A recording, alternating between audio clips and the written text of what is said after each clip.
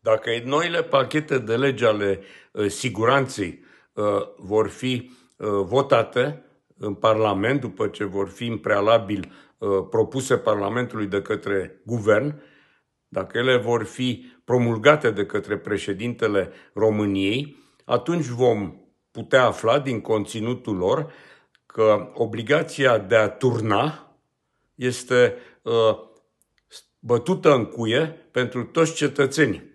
Deci vom fi obligați să turnăm la cererea uh, serviciilor secrete, să ne turnăm colegii, prietenii, cunoștințele. În aceste condiții mă întreb de ce mai demonizăm pe Traian Băsescu, pentru că și-a îndeplinit această obligație pe vremea lui Ceaușescu. Că și pe vremea lui Ceaușescu se spunea că asta e o obligație patriotică.